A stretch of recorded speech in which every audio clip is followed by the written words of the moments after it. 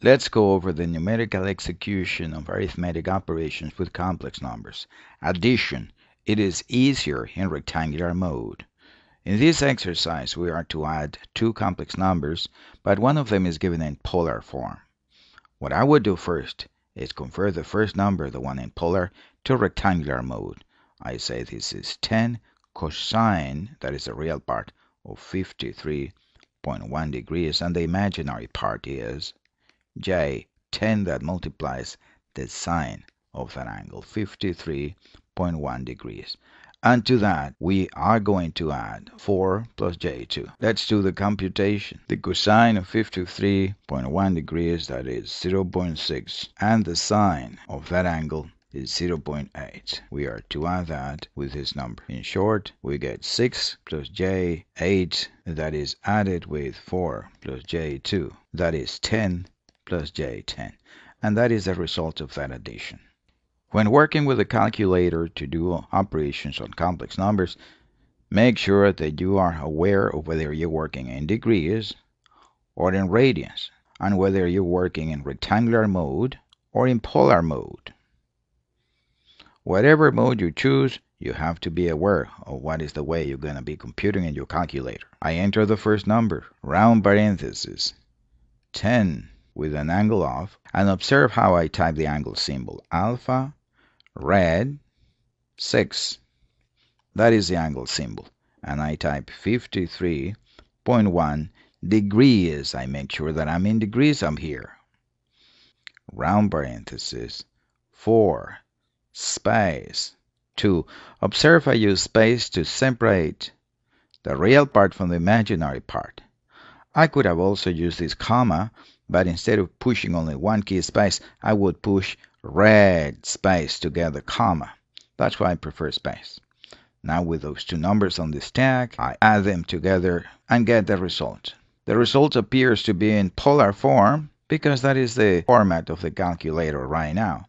I just switch it over to rectangular mode and see the result in rectangular mode. 10 plus j 10. Now we go for the subtraction. It is also easier in rectangular mode. In this case, the first one is in polar form. We're going to write that in rectangular mode before doing the subtraction.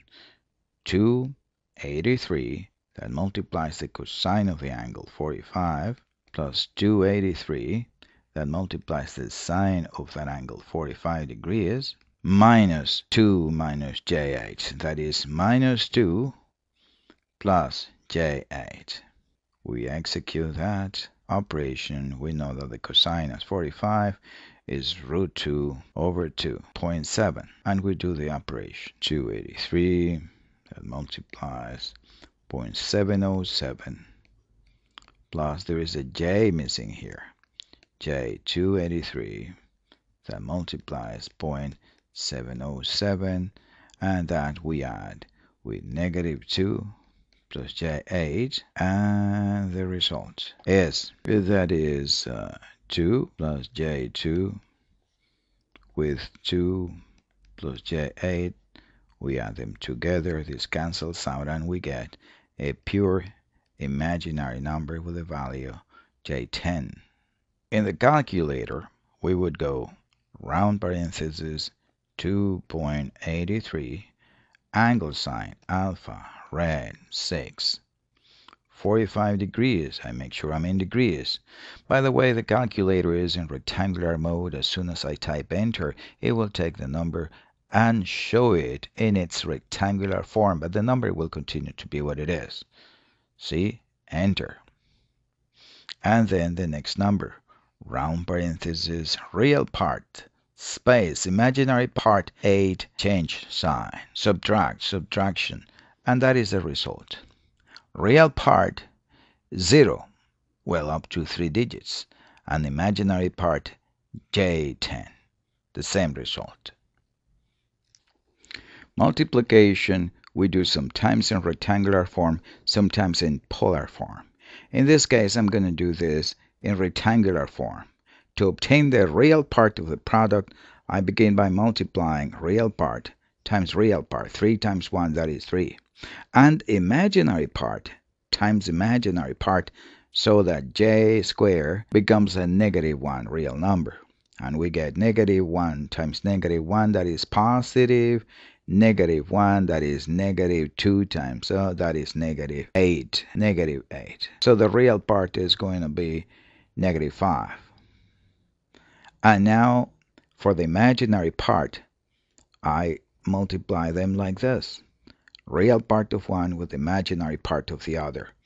And then we get 3 negative j4 that is negative j 3 times 4 that is 12 and for this one would be negative j 2 negative j 2 the result is real part is negative 5 and imaginary part that is negative j 14 now we do that in the calculator. Round parenthesis, 3, space, 2, change sign, enter. That is the first factor. And now the second one. Round parenthesis, 1, space, 4, change sign. Those are the two numbers. Multiply them. And the result is, as we saw before, real part negative 5, imaginary part negative 14. This way of multiplying is particularly useful when we're using symbols instead of numbers. Let's say we multiply a plus jb with its complex conjugate a negative jb, and we want to know the results. The real part would be a squared times negative times negative 1 that is positive b squared and then the imaginary part would be JAB minus JAB. The result is a squared plus b squared, a real number. When we multiply a complex number by its complex conjugate, what we get is this. What is this? Hmm. If we remember what we saw in class, we realize that that complex number has this real part A and has this imaginary part B. What we see here is just the square of the absolute value of the number. In cases where the multiplication includes either numbers in polar form or the final result is going to be given in polar form, we find it convenient to convert all numbers to polar form and do the multiplication in polar. That's what I'm about to do. In polar form, the first number has a magnitude that is square root of 2.5 square plus 10 square. That is the absolute value and has an angle that is the arctangent of 10 divided by 2.5. The second number, this one, has a magnitude that is square root 0.85 square. I don't care for the negative sign in this context, right? And the angle for this number is arctangent of 4.3 divided by negative 0.85. Here I include the sign. And once I have that, the result will have a magnitude that is the product of those two magnitudes and an angle that is the addition of those two angles. Let's write them. Find what they are. The first number has a magnitude of 10.308 and an angle of 75.96 degrees. And the second number, this one, has a magnitude of 4.383 with an angle of 101 with 1 8 degrees. Now we multiply